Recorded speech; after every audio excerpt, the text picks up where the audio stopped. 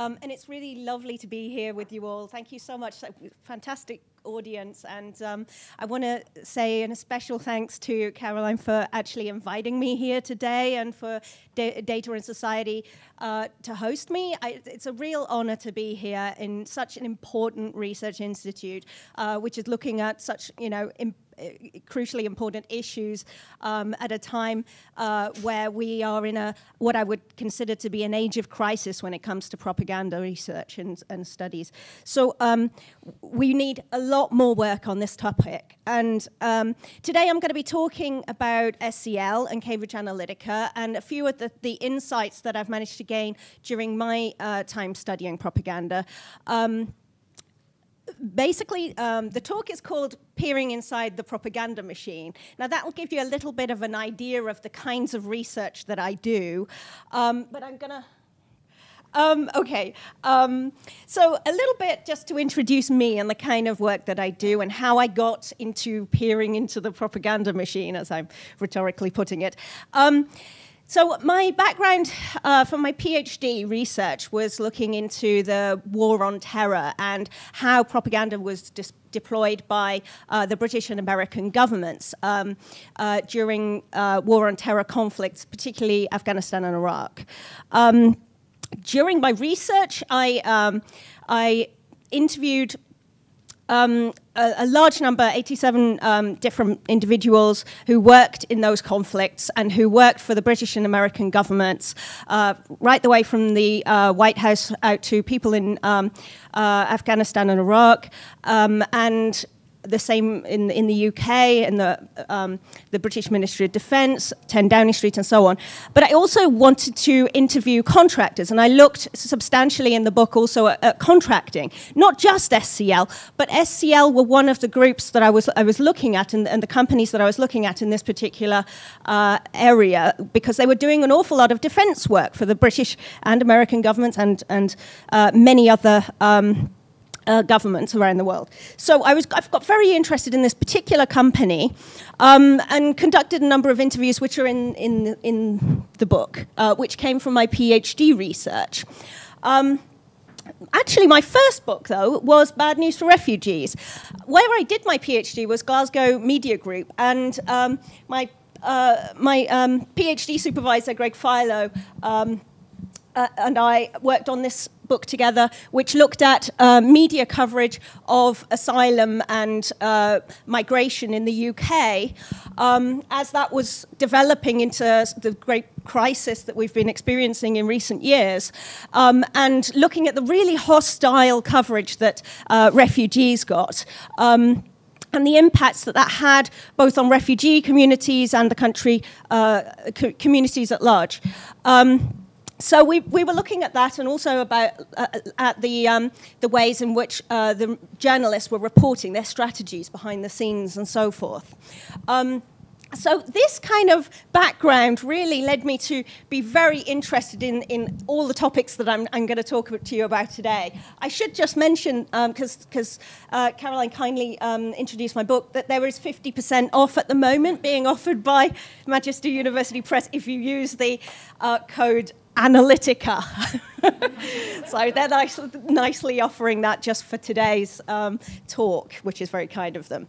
Um, so um, during the research on SCL, I discovered this company, and um, for the, the the uh, Propaganda and Counterterrorism book, I also interview, interviewed Nigel Oakes here, who is the CEO of what's now known as SCL Group. It used to be SCL Limited. Um, SCL is a massive SCL group, as you can see, it's a massive network of different uh, companies. Um, and there was a lot of controversy over how these companies might or might not be related. Um, Cambridge Analytica is one of the companies within SCL Group. Uh, so we're going to come back to that a little bit. But um, just to say, this is somebody that I interviewed during my research on, uh, on defense and um, defense propaganda. And I, I interviewed him and others at SCL in relation to that uh, and their propaganda work for governments. So um, during my uh, my research, I ended up kind of in these very strange circumstances of having, you know, um, quite actually a quite left left wing approach. Um, this is me protesting Trump. this is me um, at the um, in, inside the Pentagon. So I, I, was kind of marrying this kind of very left wing approach with like trying to also uh, navigate uh, networks that perhaps are you know. Um, uh, not so radical. so um, I, I, I, sort of was, uh, you know, developing a methodology all the way through my research, through, my uh, PhD and so on, that was really quite challenging. Um, but at the same time, uh, sort of um, navigating very difficult sort of um, communities that are very hard to access in ways that I was trying to elicit them to relax and talk and so forth and uh, develop uh, important relationships that would open up that, um, that important um, and very closed uh, type of uh, activities, uh, both by the government and also these contractors. Now, I'm, I'm also put this up because I think it's really important to um, give the backdrop of how I got interested in Cambridge Analytica from this. Uh, when I last year during the um, election of uh, Donald Trump, I was actually writing a book called What's Wrong with the Democrats Media Bias, Inequality, and the Rise of Donald Trump. So this started out just as a book on the Democrats and political communication. It still is. However, um, I realized during that election that part of the company that I had all these contacts in, um, you know, the, the SCL group, one of those companies was actually working for Trump. And I was like, well, there's a great opportunity. So I had to reach out to them and to try and develop these kinds of contacts and so on. Particularly when I realized, oh, wow, they seem to have won here, you know.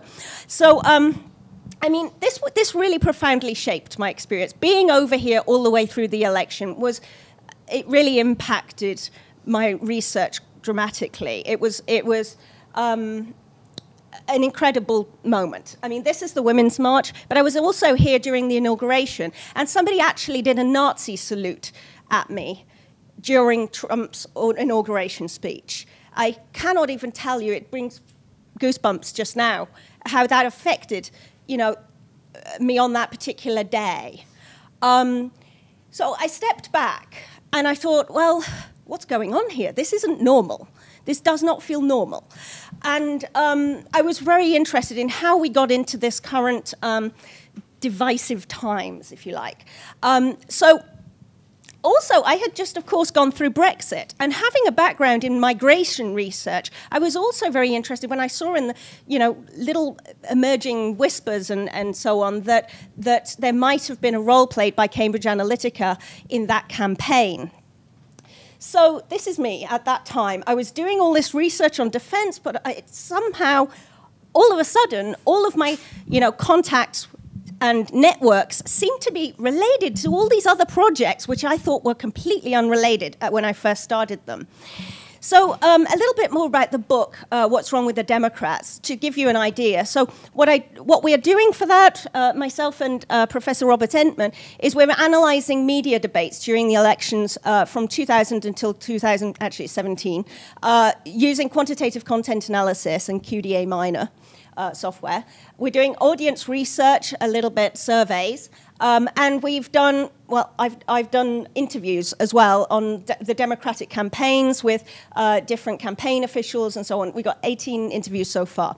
I've also done a substantial section of that book looking at Cambridge Analytica and the Trump campaign and how, um, how Republican um, uh, communications has been transformed in recent years. Um, of course, there's also the backdrop of the elites and how elites have been jostling for power and realigning during this period. Uh, and um, of course, uh, without that, we would not have seen um, Steve Bannon in, in the White House. We would not have seen, um, you know, this person who was vice president of Cambridge Analytica. You know, these are people who really put uh, Cambridge Analytica on the map. So, and, and of course, the funding, the money that they poured into this company, highly significant in shaping it, uh, what we, what the outcomes were. Uh, a little bit of a uh, uh, something else I need to point to um, is the imbalance I think I see in, in, in communications in the US and in media. Uh, this is just. Um, this is just uh, social media. However, I think it's really interesting study that's been done by um, Yochai Benkler et al. at Harvard. I don't know if I'm pronouncing that right. I hope I am. Um, and you can basically see how there has this very large right-wing media nexus that is developed around this is Breitbart, uh, which, which you know, shot up in, in significance during this whole period. Then you have the mainstream around the middle, and there's really no comparable left wing um, nexus, if you like.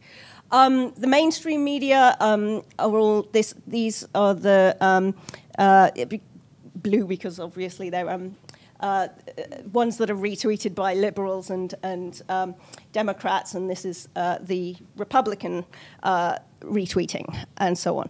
So uh, I think that's a really important point is that there really doesn't seem to be a, a parallel. Um, some of our early data from the survey, uh, we were looking at how, how people have reacted to Breitbart. Uh, this is a representative sample. I, haven't, I can't see the number. I think it's cut, cut it off. Uh, uh, but it is a rep representative sample of the US population. Um, and we were looking at uh, Democrats, Republicans, independents, and so forth, and all Americans. Um, how trustworthy is Breitbart? Now, of course, a lot of people are saying it's untrustworthy. However, I think the numbers that are saying it's trustworthy are decently worrying, um, especially considering like 20% for Democrats. I found that really a, a, strange statistic, and we are still trying to figure that one out. This is work in progress, this book. Um, I'm going to be finishing over this summer. Um, but I think also important backdrop is about um, how um, inequality plays in this. Uh, because um, what, what we're talking about as well in the book is the, um, the growing gap between the rich and the poor, and how that, of course, has been exploited in this particular election. Um, actually, um, Small gov government policies run counter to most uh, public preferences in the US uh, for you know, how government should be run. Um, Hacker and Pierson argue that America has forgotten what made it great. Um, and actually, the free market dam damages economic interests and increases this um, inequality. Now, why is that important to today? Uh, my dis discussion today? Well, I'd say that Democrats are failing to get this message across, and we're looking at how they might be able to get that over more effectively. Um, we're also um, I, also want to point to the fact that this has been exploited um, in the campaigns. So we had, uh, of course, Crooked Hillary, which was a, a product of Cambridge Analytica's campaign. Um, so they were working on this particular narrative. And this is something that could be very easily exploited is the you know the fact that Democrats haven't challenged these kinds of uh, policies and, and haven't really addressed people's the growing inequalities in America. And um, there was an opportunistic moment uh, which was taken advantage of by Trump um, to to essentially you know to um, uh, you know, Democrats have made very vulnerable by their own uh, lack of, of, an answer for this kind of problem. Um, and of course, also, it means that tensions within the country can be exploited by, you know, the right, by, by um, uh, politicians like Trump, but also um, by, perhaps also by, um, by Russia and so on. Um, in amplifying the divisions that exist. Now, um, one way, of course, they uh, you know, we all are very familiar with this kind of uh, coverage that was seen uh, during and, and, and, messaging that was seen during the uh, campaign, the build a wall, and so forth. Uh, highly targeted ads that produced um, and uh, and and directed at the um, at um, swing states in particular um, and really exceptionally racist, uh, xenophobic, and divisive rhetoric. There, has al- there have always been dog whistles to racism in American politics, of course. Um, but this really went to another level. And I think also the targeting of it um, was something that which arguably um, might be said to be, you know, the, the use of data to actually enhance the effect on the, get it to the right people at the right time, um, perhaps um, the impact that might have had. Um, and my evidence um, that I submitted, my, my uh, interviews that I conducted with uh, key executives at, at Cambridge Analytica, um, and, and also people that I discussed it with at uh, SCL, in particular the CEO, Nigel Oakes uh, of, of SCL Group, um, really sort of helped to give um, a richer picture of uh, what was going on with um, shaping those narratives and with the thinking behind the strategy of the Trump campaign and of uh, Cambridge Analytica as well. So, um, and, and the wider role that that played in within the election as a whole. So again, bringing this back to SCL Group, I'm going to um, focus a little bit more on this diagram. So uh, we have Alexander Nix here. He's the person that a lot of you have seen in the um, in the uh, big expose that. Um, uh, that was on Channel 4, where he was uh, accused of uh, uh, entrapment and you know of using prostitutes to um, to uh, to entrap uh, politicians in uh, campaigns. Um, so that is one figure that you might know. Um, and Cambridge Analytica less people know about SCL, which is the wider group, and that embraces a lot of different companies that were working in uh, all sorts of different parts of the world, and also a uh, research um, center called, oh, there it is, Behavioral Dynamics Institute. So that's important because that was set up by Nigel Oakes, and Nigel Oakes really believes that that is the sort of brains behind uh, the whole operation, and that is a research center which um, which uh, has produced methodology, an underlying methodology, which is drawn on by all of the different companies. Now, when you're doing a campaign, you, you, you have to adapt your methodology for whatever place that you're working in. So that's not to say that, you know, the same, exactly the same things that they did in one place, they're going to do somewhere else. I mean, you have different media. Let's say you're working in, in Nigeria, the, the media there is obviously going to be very different to working in the United States or America. So you are going to obviously need to adapt these methods. Um, but the underlying methods and thinking and, and processes and, and research uh, into how people think and behave and how you understand and uh, you know understand behavior and personality and emotions and so forth. Uh, it all draws on that kind of underlying social science research that they had done, uh, including working with. Um, with, uh, with the military and with academics, with, with DARPA as well. So it's really important to, um, to note that the, the way that these things flow. Um, and that Nigel Oakes as well was, was kind of, certainly saw himself as the brains behind that. Um, right, so um, a lot of my evidence relates also to that relationship. Um, I submitted, uh, as Caroline said, to the um, UK Parliament's Digital Culture, Media and Sport Committee inquiry into fake news, and uh, a substantial body of evidence. So uh, long interviews. They didn't publish everything because a lot of it's going to be in my books, as well as um, some of it was kind of sensitive and so on. I, I, interview people about a lot of different things, and um, so um, the most important things that, that, that the um, inquiry wished to publish uh, came out. But they, just to say, they saw all of this in the context in which it was uh, recorded and so forth. Um, and you can, you can access the um, evidence here.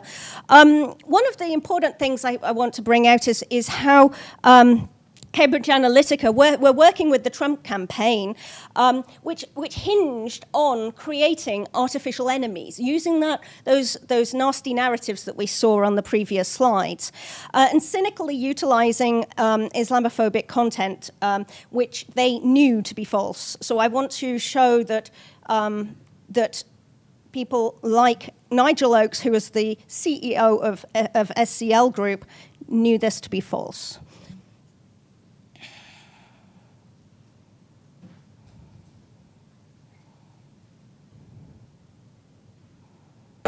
Resonance with American audiences. Now you've picked up absolutely the right word there because when we explain in the two-minute lift pitch mm. what happened with Trump, you can forget all the micro-targeting and micro-data and whatever, and come back to some very, very simple things, which is Trump had the balls, I mean really the balls, yeah. to say what people wanted to hear. And we all thought it was a joke every time he said it. Yeah. Every time he said we're going to put up a wall for the Mexicans, going, you can't say that. You know, it's yeah, it's loony. And then we're going to get the Mexicans to pay for it. The Mexican yeah. president was going, I'm not bloody paying for any of this. But it yeah. didn't matter because in the Ross states, the, the guys were saying, look, I've got people, Mexicans coming across illegally, not paying any tax, taking all our healthcare, taking our jobs, mm. and, and putting the price down of things anyway. Yeah. And I'm bloody sick of it. Yeah. And so if a man comes up and says, you know, it, it's you know, he didn't say we're going to redress the. He said we're going to build a wall and keep these fuckers out. Yeah. And and to a lot of people, that really had resonated. the balls to say what people wanted. He also said um, ridiculous things like, as well. uh, you know, we're going to ban Muslims from coming into the country yeah. because I'm sick of of people taking machine guns and pointing them at schools and our children, and our children are the most important thing. Well, there's never been a Muslim ever that's put, put a gun on an American school, but it seems to. But the perception yes. is there that they yeah, that's terrorism, yeah. and it must be Muslims, and yeah, there've been a lot of shootings. They're all Americans who do the shootings, and people go, yeah, fuck it, it's our children. We don't want that. So, and and you've got Hillary Clinton going, oh, we're going to increase the fiduciary financial spending and four percent percent so growth in our area.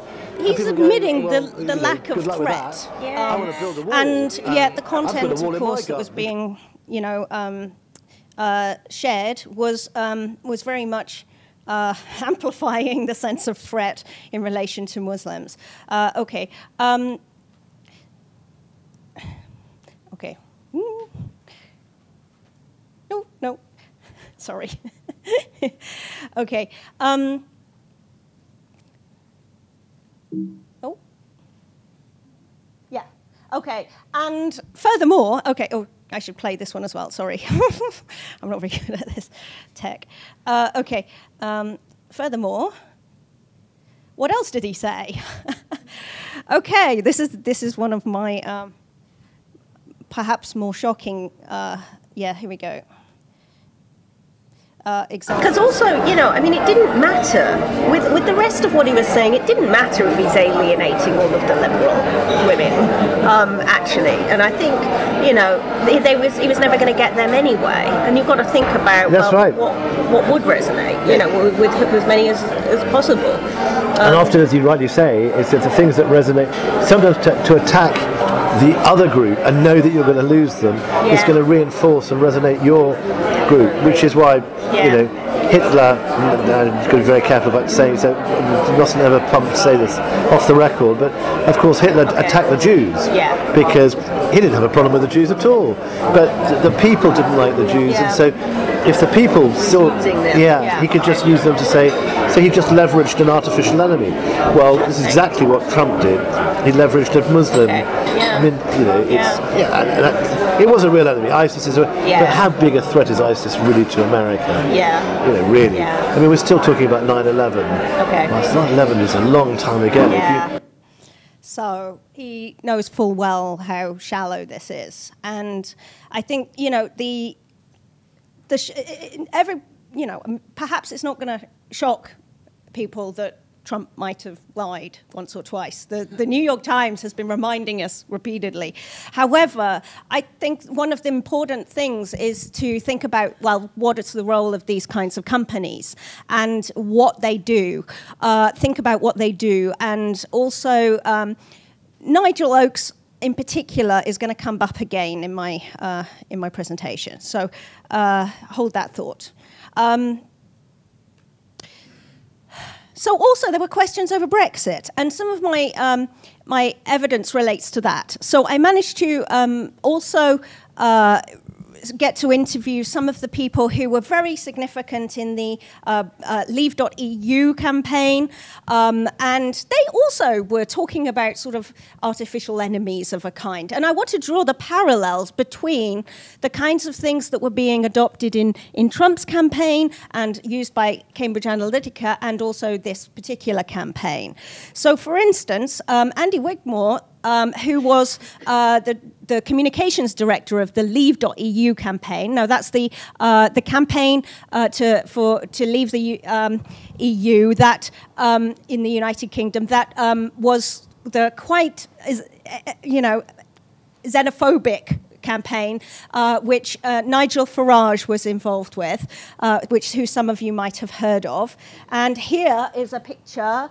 Nigel Farage, Donald Trump, this is Andy Wigmore. This is the guy that I interviewed. I also interviewed Gerry Gunster on the left there, who is a US uh, Washington based pollster who, who helped with the Leave EU campaign as well. Um, so you can see their respective roles there. Um, and what did Andy Wigmore say? He said the only way we were going to make a noise was to follow the Trump doctrine. And I said, so you're copying the Trump campaign completely, completely, completely. So you can't get more completely than that. Um, so he also said something quite interesting when you think about the parallels between what we just heard and this. You know, the propaganda machine of, of um, you know, the Nazis, for instance, mm-hmm. if you take away all the hideous horror and all that kind of stuff, yeah it was very clever mm. the way they managed to do what they did. And uh, you know, if you, if you, in its pure marketing sense, yeah. think, oh, okay, yeah. you can see the logic of Absolutely. what they were saying, why they were saying, and how they presented. You can see the logic of it. Like, you know, if you can take away all the hideous horror, you know, because that's easy to do, of course. Steps or whatever it is. Yeah. I think it says everything about the kind of people who are involved in these campaigns. um, okay, and I did not bring up Nazis once in my questions, just to say that, and not with anyone. And they, they volunteered this themselves. Um, so, and I think that's an important point. Um, also, in my um, research on Brexit, so during the interview, while I was interviewing Andy Wigmore, he gave me this. And I was looking at this and I was like, right, so, so he was boasting to me about how much his insurance company, well, this is Arron Banks' insurance company. This is Arron Banks. He was the uh, UKIP donor who, um, who also uh, bankrolled Leave.eu, um, that campaign. And he, he led that campaign, founded that campaign. And um, he uh, owns Eldon Insurance, an insurance company in the UK. And he's, on, uh, he's a director too. And oh, Eldon Insurance, that's interesting. Why is Eldon Insurance giving me something that, that has Brexit data in there? Like, look at that, Facebook videos and, and telling me the, the data on, on how much reach and how many views each of these videos has. And what is this? This is a profitability overview for Eldon Insurance. So um, this is something that uh, actually that um, uh, Brittany Kaiser talked a little bit about in her presentation, uh, her, her testimony, sorry, to the, to the British uh, fake news inquiry as well, because uh, she helped to develop, she said, she helped to develop a, a dual strategy. Uh, which uh, which talked about Eldon Insurance as well as a, as well as, as Leave.eu, and how these were kind of organized uh, to, to draw on, she said, the same data. Now, um, in my interview with Andy Wigmore, he talked about how they had used the same premises. They had used their actuaries from Eldon Insurance to work on the Leave.eu campaign. They'd used the same, you know, um, graphics people, the same marketers, the same, you know, it was all the same stuff. So and then, of course, they made loads of money out of developing um, artificial intelligence um, methods for Eldon Insurance as well to profit lots out of this, as well as developing um, uh, artificial intelligence um, for Brexit.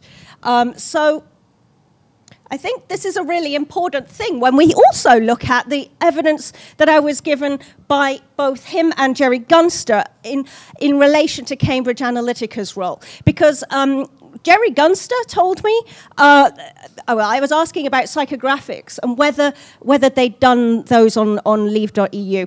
And he said they didn't know. I mean, they provided some backbone for how to do it. Cambridge Analytica provided some backbone on how to do it.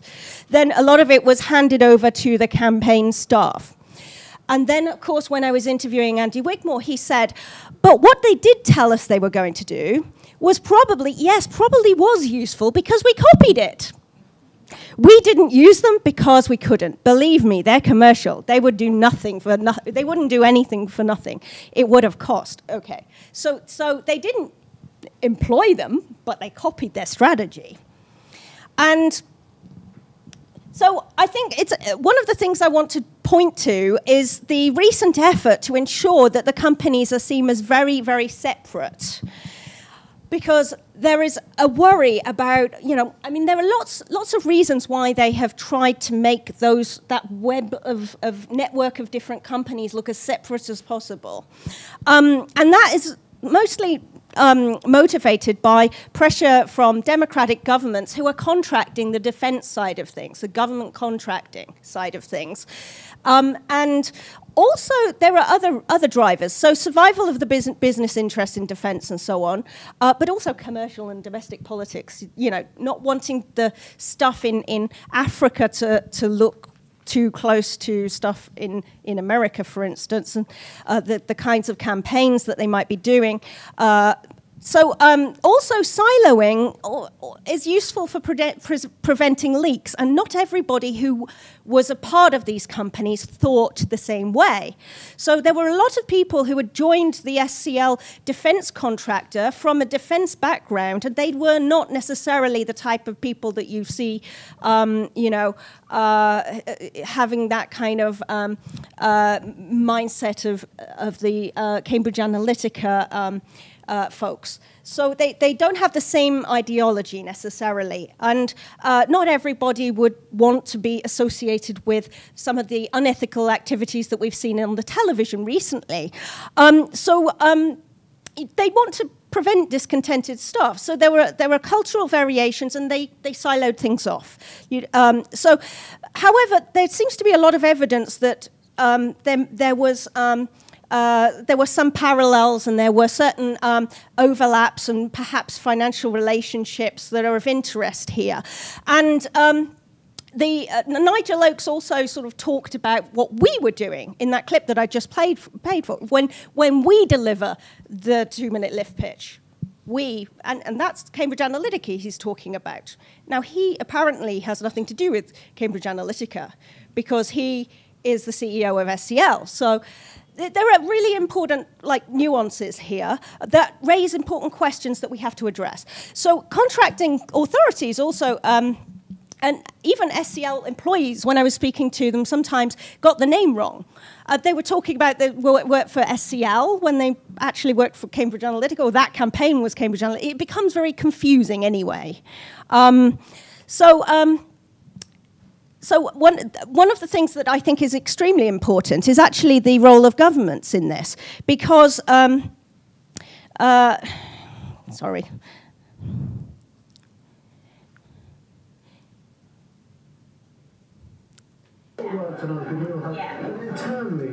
Okay, so he's going to now talk about how how they work, but they don't work together it's, and it gets a little bit confusing. Um, I think it's really important, though. Um, and I, I, want to show you on the slide as well. So he talks a little bit about how they've, um, how they've worked together and what his role is. We all worked on other people, we all helped. Yeah. But internally in the company, that's a different thing.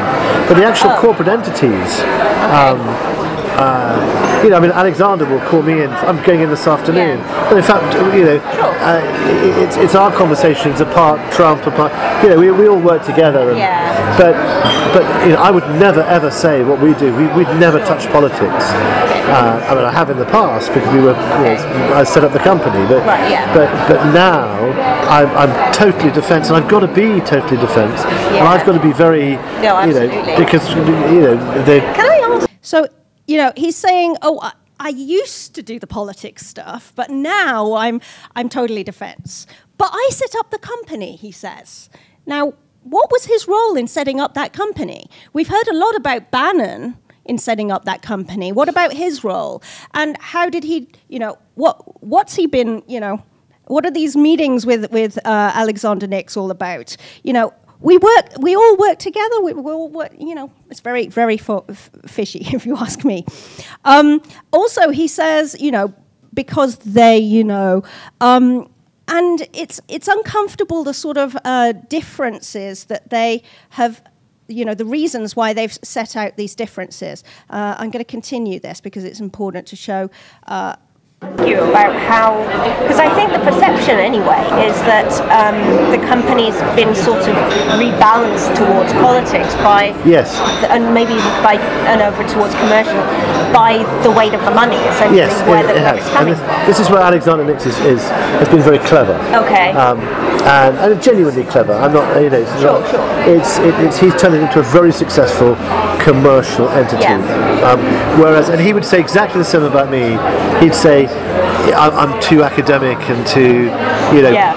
and the, the analogy on a tiny, tiny, not an arrogant scale, is, is that, that if he's the Steve Jobs, Yeah. I, I'm the Steve um, Wozniak. You know, I'm the sort of the, the, the guy who wants to get the, the engineering right, and he's the guy who wants to sell the flashy box. Sure, sure. And, and he's very good at it, and, Okay. and I admire him enormously for doing Yeah, it. yeah, um, but but I'm the guy who says like, yeah, but without this, you couldn't do any Yeah. of So that. He's saying that his responsibility for Cambridge Analytica, without him, they couldn't do any of that. That's what he's saying. That if he's if, if, if Alexander Nix is Steve Jobs, he's Steve Wozniak. Why haven't we seen him, you know, giving his testimony yet? That's what I want to know. I think it's deeply important. Um, you know, he he claims that his kind of BDI methodology underpins a lot of this. You know, that it's not just his BDI. A lot, a lot of people have worked in, in, in this particular research center, but he's, he's, he considered it, it, it his baby. I mean, this is something he's nurtured and really cares about a lot, um, and sees himself as, as, you know, wanting to get the engineering right behind all of this stuff. Um, Okay, so I think this is uh, really important in relation to remembering what the kinds of things that they actually worked on, okay? Um, and uh, so in. Um, some of you might have heard a little bit about the, um, the Nigeria campaign, um, and the person that I interviewed in relation to that was Sam Patten. Now, he's a, a Washington insider kind of strategist, uh, campaign strategist, and, and uh, messaging guy. And he, um, he worked uh, also on Cambridge Analytica's efforts in Oregon, okay, in the Uni- United States. Um, he was the um, one of the strategists and, uh, for, for the Nigerian campaign, along with one other person, actually. Uh, but I want to play you um, something that, uh, that came out in the inquiries. Oh, here we go. Uh, which I feel is really important for you to see. This was referred to as the mu- murder video. Now, some of it's not very clear, but like, so hopefully it's not going to upset anyone. But if anybody does want to leave, it's uh, the, the content of the uh, video itself is very disturbing because it includes uh, footage of real footage of uh, people um, uh, being burned alive and dismembered and so forth. Um, okay, and this is just an introduction to what uh, The Guardian said about it. February 15th, 2015. Dark, scary, very uncertain. Sharia for all.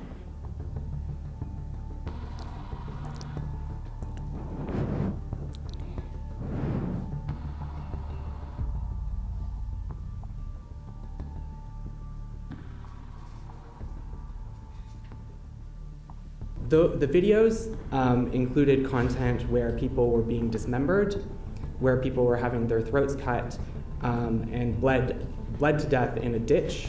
Uh, they were being burned alive. There was uh, there's uh, incredibly anti-Islamic uh, and threatening messages portraying Muslims as violent.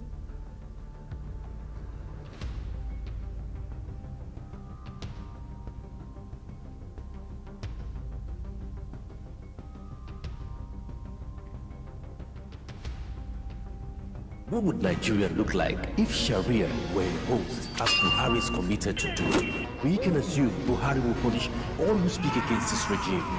Ah, Buhari will strike a deal with Boko Haram, granting them women be veiled. Okay, you get the idea. I don't think we need to. Oh, yeah? Okay. sure. Um, okay, I need to wrap up soon. Um, okay. Um, yeah, I'm pretty close to the, to the end anyway. Um, and uh, so I was going to play just another couple of clips from uh, this time for Sam Patten uh, talking about American politics. Um, oh, shall I shall I play this one? This one's quite good. okay, uh, this this is. Uh, yeah, no, I'll, I'll talk about this one. Okay, sorry. I mean, I've worked in Ukraine, Iraq. I've worked in deeply yeah. corrupt countries, Yeah. and our system isn't very different. No. I thought you'd like that. Okay, so I think that's that's an important one. I think that's important because it shows the attitude that they take, you know, the parallels in that they see between different countries, um, and to, to wrap it up, I'm very very close to the end. Um, uh, to wrap it up, um, some, it, this raises so many questions, and you know, I never expected my work on this to sprawl into all these different areas. But people just started talking about their work in different campaigns in different places, and I realized just how big this was. You know, um, so one of the points I want to make is regardless how you organize companies to perpetuate activities somewhat autonomously, um, an overarching group or network that includes different entities uh, responsible for assisting and amplifying corrupt politicians uh, who were responsible for spreading sort of violent or Islamophobic messaging, uh, spreading Islamophobic false discourses in the Western campaigns, uh, making money off Western governments to inter- intervene in religious and ethnic conflicts, as well as ta- tackling uh, extremism and, and supposedly countering terrorism. Um, all of those being done by different parts of this network. And we're supposed to not be worried about that. Um, you know, how related the companies are is a hugely important um, uh, point. And it doesn't matter that they've just collapsed, okay? The, you know, these companies grew out of a system that is, is still existing that we need to challenge and change. Um, and, you know, one of the issues is the State Department were pushing them to separate the companies. Uh, you can see that in my uh, clips that I just played for you. Why were they pushing them to separate the companies? Were they concerned about something? Um, you know, why were our intelligence agencies perhaps not you know, aware of this. Were they aware of this? I don't know. Uh, but we certainly have questions to ask about what was going on and the oversight of, of networks of companies needing to be taken into account, not just one company that you are contracting. Um, you know, because these are not unrelated events anyway, even if the companies might be argued to be unrelated. And I, I, think it's really important as well that we have more academic work on the dark side of, of propaganda. You know, um, that, uh, you know, there's a lot of romantic sort of um, uh, studies of the surface stuff, of the soft power coming to save us all and, and helping, you know, uh, build harmony across the world. Um, and also focus, of course, on Russia, but like without thinking about, well, what the hell was all this? You know, what, what, what how is that destabilizing our world? Um, we, need, we need to not just be focusing on building better persuasion tools. We need to start thinking uh, more about the imbalances and abuses of power. Uh, that's my final thought, and I really appreciate your attention, and I'm looking forward to all the questions, and also to hearing from Tamsin and Caroline. Thank you very much, everyone. Thank you so much, Emma. And uh, we just have a few minutes left, but I do want to take some time for. Um, we're going to go to five ten if that's cool with everyone. Um, not at all, not at all. So, um, thank you, Emma, for your presentation. And uh, we're just going to take a little moment for a response. Uh, our discussant today is Professor Tamsin Shaw, who is an associate professor of European and Mediterranean Studies and Philosophy at New York University. Um, and she's uh, written recently a really remarkable series of essays in the New York Review of Books on behavioral science, big data, and algorithmic analysis. So please join me in welcoming Professor Tamsin Shaw.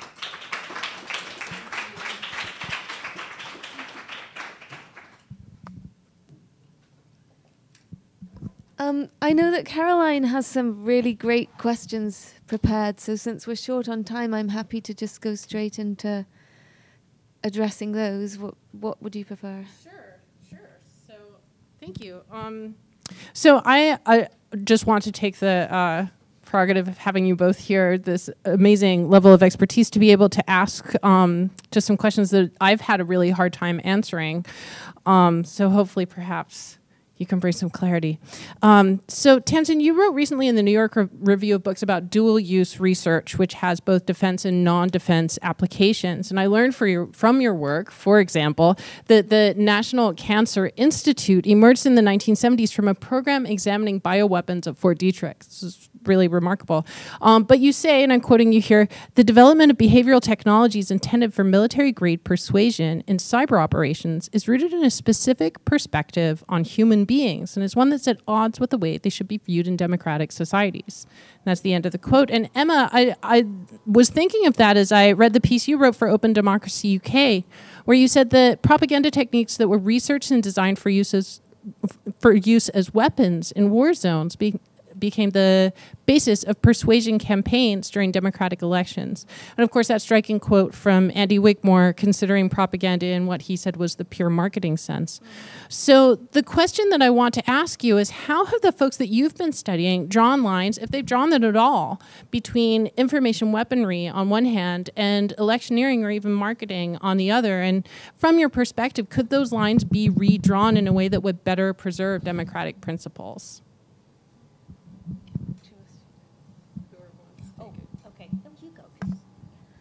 Um, well, I think there have been very few lines drawn because, as you say, we, we have this model of dual use research in many areas now. The Silicon Valley economy has relied very, very heavily on that, on government support from the military and intelligence agencies like In-Q-Tel, the CIA's venture capital fund, and the venture capital funds that most of the defense and intelligence agencies have now. Um, and they have funded research that will both be useful for national security and have commercial application in order to boost the tech sector in general in America, which was lagging behind Japan, and now there's the fear that we're lagging behind China. Um, and I think that naturally creates the boundaries that it creates are very porous ones. The same kind of dual use has gone into a lot of the behavioral science research, which often originates in um, military and intelligence innovations. I guess Daniel Kahneman is the most famous behavioral scientist on earth, and that, of course, originated in research done um, for the Israeli army and for the American military. And all of that does entail viewing people through a very a, a highly specific lens. Um, in Kahneman's case, for instance, he's looking at people's predictable biases. He has a very specific model of the human mind which allows us to exploit those kind of biases and irrationalities. He makes very strong claims often in interviews about reason playing no role in the formation of our beliefs, um, which I suppose is a useful view to have if you want to develop things like propaganda techniques or sales techniques. Um, I think, I mean, as a philosopher, I think that he doesn't have any evidence for that. We have to maintain our beliefs. We don't just um, absorb them and then fail to question them. We are involved constantly in justifying our own beliefs, and reason clearly plays a very strong role in it. Um, but I think that this whole sector, the, the military and commercial sides of it, have absorbed a lot of behavioral science um, that views people through that lens of their people's plasticity and their manipulability. Um, and in terms of the boundaries between, for instance, electoral political work and military work, well, the very same agencies, as we see in the case of Cambridge Analytica, are doing both. They're also doing all sorts of other um, commercial forms of work. And Cambridge Analytica is the one now super famous example on this who've, ha- who've had some light shed on them. There are thousands of these boutique intelligence and military agencies now. The privatization has been going on for more than a decade, and they get government contracts and are encouraged to develop these military grade strategies, which they can use across their client base with very, very little oversight. So, for large corporations in higher education, in elections, there's just been very little oversight of it, partly because I think a huge amount of this was done during the global war on terror to develop counterterrorism strategies without a lot of thought about bigger geopolitical questions. And now all of a sudden, the agencies are moving back to a concern about um, great power politics and competition with China and Russia, and realizing, you know, we've got now a lot of private companies that have taken over the powers that nation states would traditionally have. So Max Weber says that the state is the legitimacy, the, monopoly on the use of legitimate force, and clearly this kind of soft power is a form of force in the world today, and nation states don't really have a monopoly on it anymore. Um, it's in the hands of a lot of private actors, both here and abroad. Um, and I think that's been a feature of the way in which this sector has developed during the war on terror that a lot of people are beginning to regret now. Yeah, Sorry, that was very broad. I, I, would also point to the fact that um, there's been a revolving door between government and this kind of, you know, sector for, you know, you know, including right back to World War II, actually. But um, what we saw during the war on terror was a massive you know increase in scale of this. Um, and the you know the this is not the only company as you rightly point out. However you know the um, the scale of this and the, you know i think we have never seen inside the propaganda machine in this way before i think uh, in this kind of scale. There was so much that they were involved in, and there were so many people who uh, had insight into it actually and have come out and revealed things. Um, that you know, this really, I hope, will be a wake-up moment for us, uh, like we've never seen before. But uh, we really, really need to act at this point. One thing I would also point to is the um, the tendency to view people as tools uh, by these these actors. I think is deeply important. One of the things that I saw in my research was the difference between people who work in government and people who work outside government in the private sector is, is actually quite huge. Um, but that's something that's exploited by governments because you know that it is a different culture and people you know are doing things in the same you know in the same teams um, that can be deployed in different um, areas which uh, government is a little bit more restricted on. You can you can deploy a, uh, a PR company, open up a PR company in, an, in a country that uh, you're not at war with, for, for instance, you, there's no conflict, ongoing conflict with, uh, and it doesn't raise any suspicions. Whereas uh, if you're opening up, you know, if you're sending in troops, then that will be noticed. So there are different ways that you can uh, use uh, these kind of commercial entities, which make them, you know, very, very popular with government. It's growing and growing and growing and accelerating, and very very little oversight. There's, it's so hard to see inside what's going on, and I think that's one of the, part of the appeal. And we really need to, um, you know, act before we, we end up with more of these kinds of companies emerging now. I mean, we're we're reading this week about um, Erik Prince's private company setting God, up yeah. a training academy in China, a military training academy, which has raised a lot of alarm in the intelligence community. Um, but of course, he, you know, Blackwater have the the power and the techniques and strategies that they do because that was funded by US government contracts. So I think there's been just a lot of carelessness about um, letting these, especially, well, I'm cyber weapons, but even um, conventional warfare techniques spread very easily. Um, that there hasn't been much resistance to that, and in fact, there's been. I think it's been encouraged that these private billionaires fund their own versions of the war on terror. And Peter Thiel is famous because he's very right wing and everyone disapproves of him for setting up Palantir, which is the sinister side of this. But I find it equally disturbing that all the so called liberals in Silicon Valley have done the same thing. I mean, Mark, Mark Zuckerberg a few years ago um, had a Facebook message saying that he'd been reading Henry Kissinger's New World Order and decided that he wanted to really focus on solving geopolitical problems. Uh, I just thought, please don't. Please. Please let accountable elected public officials do that instead. Um, I think it's less well known how much Eric Schmidt has done in that area.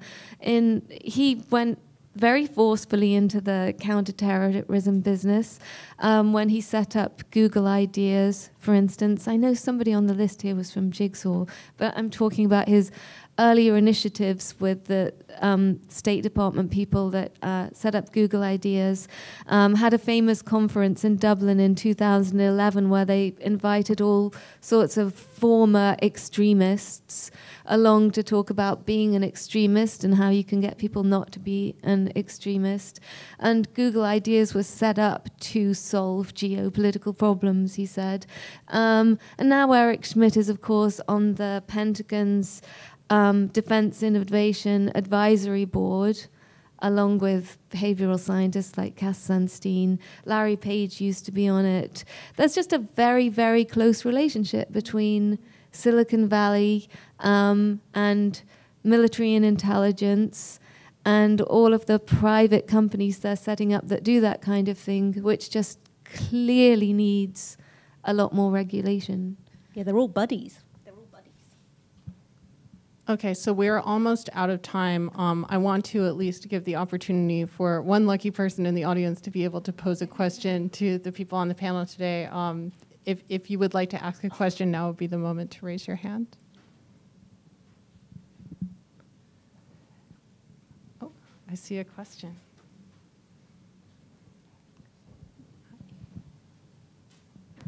Hi, um, I'm Jesse Baldwin Philippi. Um, this is based off of Caroline's question um, and kind of what you're talking about. Seems like there are two things going on. One is this very interesting organizational story, kind of of hiding a complicated Mhm, thing. Um, another one is the content and big data practices that are going on. Um, it seems like we've been latching on to the big data practices, but I think the organizational story is far more interesting here. Um, so my question is, is this a new problem, the organizational morass of this, or is it an old problem as you are kind of historicizing right now? Does the, the content, the tech, the data part allow us a new way to latch into an old problem because like it looks scary and different? Is it actually different? Does it change it in a way? Um, I'm curious about what your guys' take is on that. Can, can I respond to that first? Yeah. Um, I think this is really a good question. Thank you. Um, I, it's, it's not a new problem, of course, but I think um, I, I, I personally have never seen anything. There may, I might be corrected by someone else who's got an example, but uh, on this scale. And I think that also it's it's important that they were working in Western elections. I think this is the only reason it came out. They got so arrogant that they were you know, doing all. There's lots of companies that work in unethical ways around the world, and nobody cares because it's Africa or somewhere, you know, else. Uh, it, you know, we care when it's our countries and our democracies, and then it's all over CNN, and you know, and I think that's a really important point because you know. Um, I think they just got so too big for their boots, and there will be other companies, and may, maybe they'll be just as arrogant, but, but maybe they'll be a bit more careful. And we really need to look. We really need to look if we're going to find and watch for this. And and it's not also about looking. It's also about building in, you know, um, uh, protections in our systems. Um, do you want to? Um, I, there are two aspects of the problem that I think are new. So, one is that we've always had big private companies that are defense contractors, but um, the venture capital model, which really emerged with Silicon Valley, is relatively new. And it has given a great deal more power to these private corporations because they receive government funding. They end up owning the patents. The government gets some non exclusive rights to the use of their technologies, but the companies end up with the power and the resources and the money. Um, I think that's, that is a new aspect of the problem and a worrying one for, for various reasons. I think the no other new aspect is that in the era of cyber warfare, data has become so important, and we've really not kept an eye on the ownership of data with the emergence of these um, new companies. I don't just mean the Silicon Valley Big Five. Hardly anyone knows who owns the apps that they use every day and who owns that data. People were recently shocked to find out that Grindr is Chinese owned and had been disclosing people's HIV status. I, I, I personally know of many apps that people would be very surprised to find out are Russian owned and that that's where their data is. That, that's just very, very little oversight of any of that. Um, data possession, and I think that's a new problem and a potentially worrying one. Can I just add one little extra thing on because it fits perfectly with what you just said. Um, also, it's really troubling that uh, there is an effort to uh, monetize our data and, and put it in our possession, but um, get us to make money off it so that it incentivizes us, uh, incentivizes us sharing it, especially the poorest of the poor. So you end up with these, um, we're, we're going to end up with like the people um, sharing their data with the most engaging and entertaining apps, even no, no matter who it's going to. Uh, so I think this kind of exploitation of uh, the commercialization of our data is something we really need to watch out for too. Um, so once again, thank you to Emma Briant and Tamsin Shaw. Thank you for coming, everyone. Have a great night.